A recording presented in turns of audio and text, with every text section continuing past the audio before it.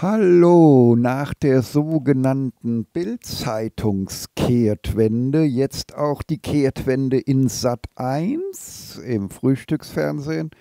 Sat 1 Fernsehsender, der berühmte äh, Boris Palmer, grüner äh, Bürgermeister, ich glaube Freiburgs, ja, er sagt, als hätte er, also quasi als hätte er unsere Sendungen geschaut, die, wo wir das seit Wochen ja auch schon angedeutet haben, als einzige und erste natürlich, wie, wie fast immer.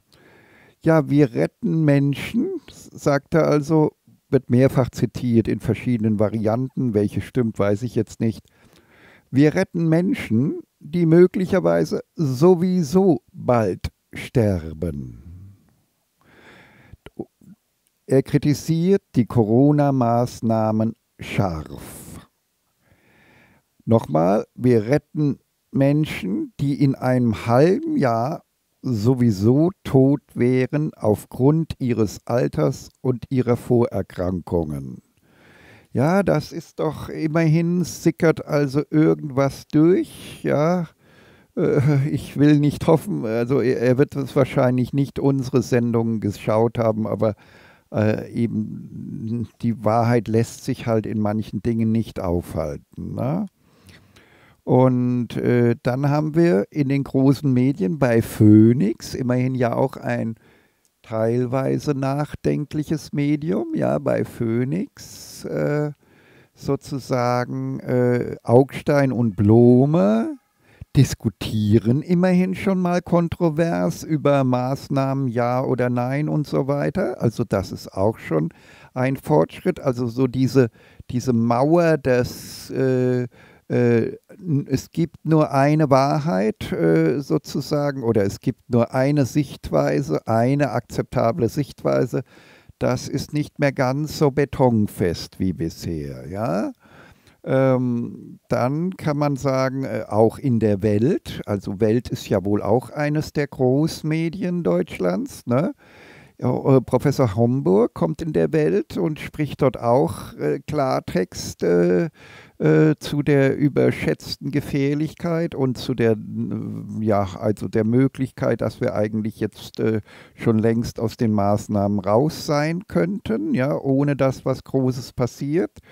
Ja, und das ist ja eben der Punkt. Ja, das ist, äh, ähm, was haben wir davon, wenn wir Menschen, die möglicherweise sowieso in einem halben Jahr tot wären, deren Leidenszeit jetzt einfach nochmal künstlich verlängern? und äh, äh, sozusagen deren Sterbeprozess noch weiter dahin schleppen, sozusagen. Das bringt zwar Geld für die Ärzteschaft und die pharmazeutische Industrie, aber das bringt äh, für den Glückshaushalt der Gesellschaft nichts, vor allem wenn man auf der anderen Seite die ungeheuren äh, Glücksverluste und Lebensqualitätsverluste auf der anderen Seite sieht. Ja, auch sogar Ärzte äh, fangen jetzt an, kritisch zu werden. Ja, warum? Weil es natürlich einen Konflikt gibt zwischen den Ärzten, die Geld verdienen müssen in den Krankenhäusern und so weiter, und der pharmazeutischen Industrie, die Geld verdienen muss über Impfkampagnen und den Verkauf von Impfungen und, und, und Tests. Ja? Und dieser Gegensatz ist jetzt auch aufgetaucht, nämlich äh, dass jetzt äh, die Ärzte anfangen zu ahnen, ja, die Corona-Hypochondrie, wie ich sie genannt habe, ja, das Hypochonder sind also Menschen, sogenannte eingebildete Kranke, die aus jeder Mücke, die sie an sich spüren, einen Elefanten machen und übermäßig ängstlich bezüglich Krankheit und Viren und Bakterien und allem, jedem, jedem kleinen Zwicken sind. Also die Corona-Hypochondrie, wie ich sie genannt habe, ist einerseits halt gut fürs Pharmageschäft, aber nicht für das Medizingeschäft. Ja? Die Leute meiden aus Angst, äh, aus, aus der Corona-Hypochondrie, mit der ja die Bevölkerung angesteckt wurde, erfolgreich angesteckt wurde, meiden die Praxen und Kliniken und das verdirbt natürlich auch äh, den, den Lebensunterhalt der Ärzte und Kliniken. Ja? Also Und deswegen jetzt natürlich die übliche Strategie. Die Ärzte warnen jetzt so ein bisschen, ich, äh, so, so im Grobtenor Tenor ungefähr so, als würden sie sagen, ihr werdet alle sterben ohne uns, kommt schon her, damit wir weiter arbeiten und verdienen können. Ja, das ist ja auch ganz verständlich innerhalb deren eigener Logik. Ja. So, das war das. Und jetzt wieder ganz kurz äh, nach den oberflächlichen Nachrichten wieder ein ganz kurz der Tiefgang. Ja. Warum äh, äh, haben die Next Scientists for Future.de eine solche Skepsis gegenüber äh, dem, äh, äh, dem, dem, dem Aberglauben unserer Welt sozusagen? Weil sie sagen, ja, wir, der, der, unser Grundaberglaube ist, dass die Menschheit nicht erkennt, wie lebensgefährlich die Marktwirtschaft ist. Jede Form der Marktwirtschaft. Die Marktwirtschaft, das Dr. Markus Krall, der ja der Chefideologe der freien Marktwirtschaft in Deutschland ist. Egal, äh, deswegen nur ganz kurz wieder ein Beispiel. Oder ich bette es mal ein in die Gesamtgeschichte. Ja? Also, sagen wir vor 13 Millionen Jahren Menschen, Gorillaartig, ich nehme wieder unser schöneres Bild hier. Also ich bin jetzt hier, so vor 13 Millionen Jahren in der Geschichte waren unsere Urgroßeltern sozusagen eher gorillaartig, haben eher wahrscheinlich in haremsartigen Zusammenhängen gelebt, mit großen Eckzähnen bei den Männern, riesigem Körpergewicht bei den Männern und winzigsten Geschlechtsorganen, denn sie haben ja die Rivalen äh, sozusagen durch Gewalt vertrieben und da reichen dann auch winzige Geschlechtsorgane zur Befruchtung des Harems sozusagen. Ja? Und dann äh, äh sozusagen äh, äh spätestens vor vier Millionen Jahren wo, wo waren unsere Urgroßeltern umkonstruiert zu eher Bonobo-ähnlicheren Lebewesen, wobei wir sogar bis dahin die Eckzähne, die großen Eckzähne total verloren hatten.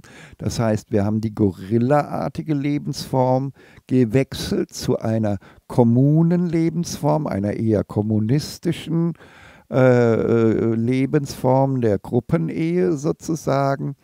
Und äh, die, das heißt, dass wir keine Rivalenkämpfe mehr durchführten. Dadurch gingen dann auch die Körpergröße, Unterschiede zwischen Männern und Frauen weitestgehend nach und nach zurück. Äh, schon auch vor zwei Millionen Jahren spätestens dann war dann auch dieser ri große, riesige Körpergrößenunterschied zwischen Mann und Frau verschwunden. Äh, Werkzeuge und Waffen wurden ja erst als Steinmesser und Steinäxte vor 2,5 Millionen Jahren erfunden, sodass wir vor 4 Millionen Jahren äh, klare Anzeichen haben, dass wir unsere Sozialform geändert haben müssen, sonst hätten wir die Eckzähne und die Körpergröße nicht aufgeben können. Den Körpergrößenunterschied, man nennt das Geschlechterdimorphismus, die Zweigestaltigkeit der Geschlechter wurde reduziert sozusagen. Und gleichzeitig wuchsen die Geschlechtsorgane drastisch an. Bei den Bonobos und bei uns sind sie riesig, ja. Und äh, äh, weil nämlich jetzt eine Spermakonkurrenzsituation hergestellt wurde, äh, die Körper der Frauen entwickelten den Orgasmus-Ansaugreflex. Ob sie den schon vorher hatten, wissen wir nicht so genau. Aber ähm, auf jeden Fall haben wir jetzt ein Paarungssystem, das so funktioniert, dass die Männer, die Vorfahren unserer geliebten Milliardärskönige, die Vorfahren unserer geliebten Milliardärskönige, äh, äh, sozusagen schenkten alles den Frauen und Kindern ihrer geliebten Kommune. Und äh, dadurch entstand keine Akkumulation und keine Macht sozusagen, sondern einfach nur Liebe in den Kommunen und äh, alles wurde geschenkt an die Kommunenmitglieder. Es gab keine Spaltung zwischen arm und reich, alle waren glücklich und zufrieden. Und dann äh, hatten wir die Hochzeit vor 400.000 Jahren, wahrscheinlich die glücklichste Phase der Menschheit. Später Homo, Homo erectus nennt man diese Zeit, ja, äh, kurz vor der Entstehung des Homo sapiens. Und der Homo sapiens ist wahrscheinlich, sollten wir eher als Homo mercator benennen hier.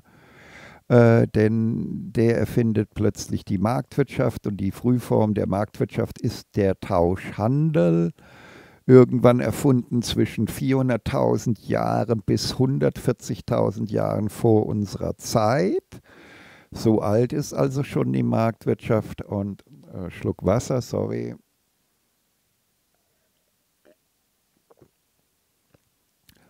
Und äh, da äh, tauchten dann zum Beispiel, ich mache nur ein Kurzbeispiel, die ersten Frühhändler und Frühärzte irgendwann, Frühärzte wahrscheinlich etwas später, obwohl es auch Hinweise gibt, dass das schon vor 170.000 Jahren begonnen haben könnte. Na gut, äh, Professor Friedemann Schrenk liefert uns ja da Daten dazu aus der Paläoanthropologie, äh, die da Hinweise sein könnten. Ne?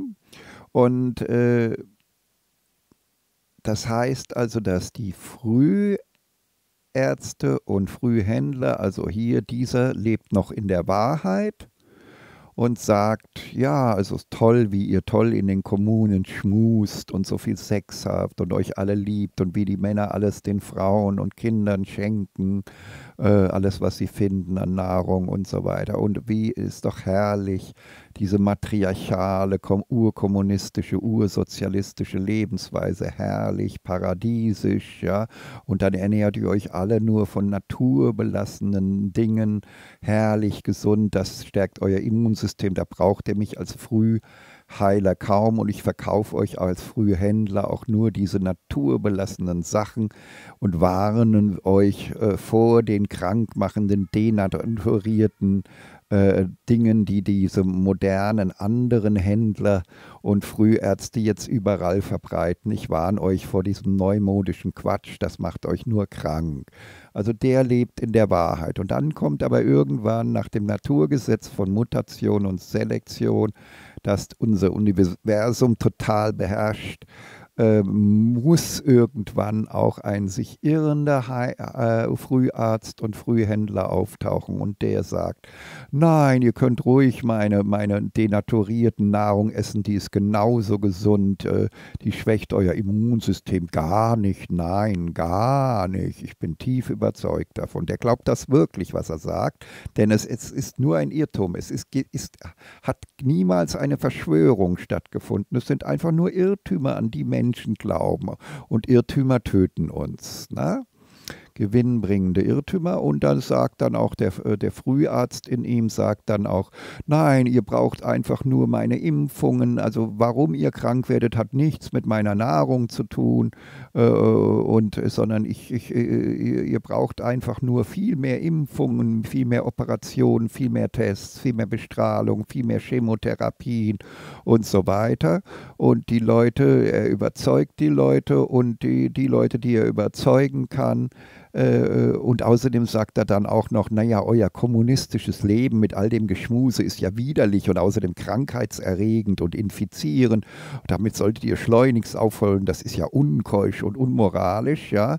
Und wir wissen ja, dass die Menschheit diesem Gebot gefolgt ist. Wir, die Menschheit ist ja das, äh, das verklemmte Tier schlechthin auf der Erde. Ne?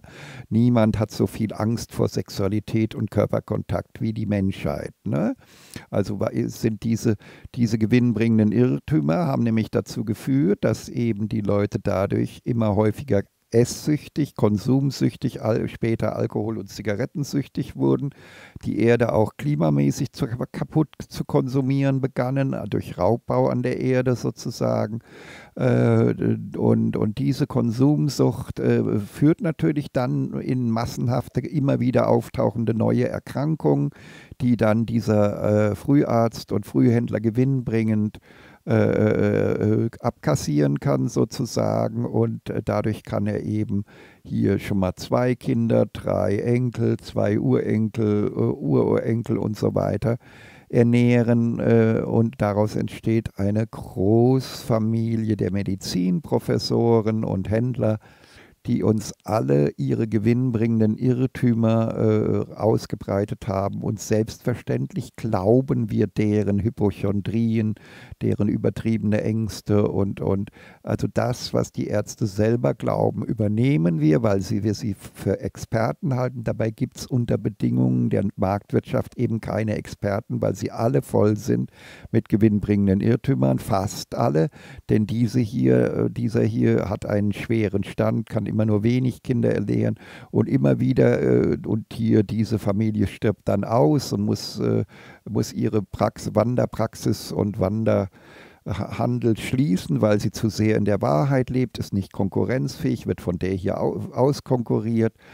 Aber es gibt immer wieder mutige Ärzte, die wie jetzt 120 Ärzte und äh, Wissenschaftler haben sich neben den vier, äh, neben den Next Scientists for Future.de auch wahrheitsgemäß kritisch geäußert, haben gesagt, wir glauben diese Hypochondrie nicht. Auch Dr. Medgerd Reuter ist jetzt wieder aufgetaucht in diesem Konzert derer, die sagen, ja, irgendwas stimmt mit unserer eigenen Medizin nicht, da ist was falsch, in diesem Fall die Hypochondrie ist falsch und äh, die Daten sind falsch und, äh, und die Next Scientist for Future.de sagen, na ja, marktwirtschaftliche Medizin muss immer falsch sein. Da gibt es keine Alternative.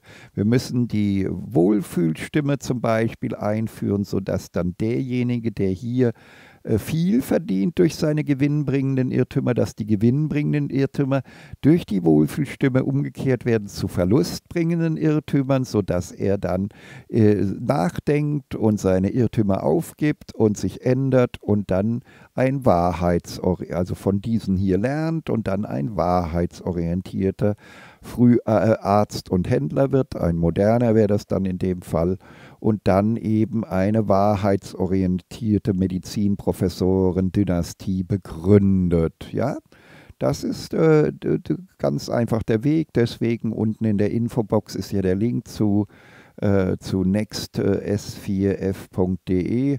Da finden Sie den Einstieg in die Welt der Wahrheit. Ja. Das heißt also, ohne Beendigung der Marktwirtschaft sind alle unsere Systeme so voll von Unwahrheit, dass wir alle infiziert sind mit Viren des Geistes, mit unwahren Irrtumsviren des Geistes. Und deswegen ist alles, was jetzt abläuft, ganz normal. Wir werden geschädigt. So, und jetzt müssen wir hier einfach nur die Wohlfühlstimme oder ähnliche Maßnahmen, die Next Scientists for Future.de haben ja hunderte Konzepte äh, einführen und dann äh, wandelt sich wieder alles. Also wir werden also die, die, die, die, jetzt, die wir alle, auch unsere Milliardärskönige, wo sind sie?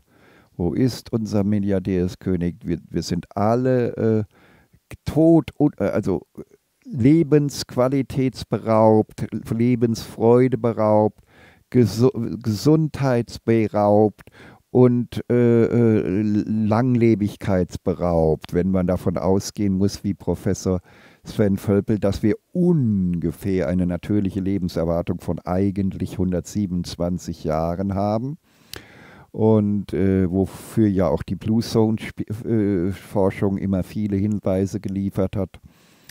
Ja, das bedeutet also, äh, wir kommen dann wieder zurück und wieder dann fangen einige Menschen freiwillig an, wieder in Kommunen, also rund um die Hausarzt-Gesundheitskommunen, die dann neu entstehen mit der Wohlfühlstimme und den Gesundheitsdaten als Messgröße, sozusagen äh, werden rund um die Hausarztkommunen dann die ersten echten Kommunen entstehen. Die werden dann die Milliardärskönige einladen, die geliebten Milliardärskönige, doch mal zu Gast zu kommen mit ihren Familien. Und wenn dann die ganzen Familien von diesem liebevollen Kommuneleben fasziniert sind und dann alle Milliardärskönige nach und nach sich irgendwelchen Kommunen anschließen, dann sind wir wieder in dem glücklichen Zustand vor 400.000 Jahren, angereichert mit einiges, einigem an Technik, von dem wir vieles nicht mehr brauchen, aber einiges weiter benutzen werden.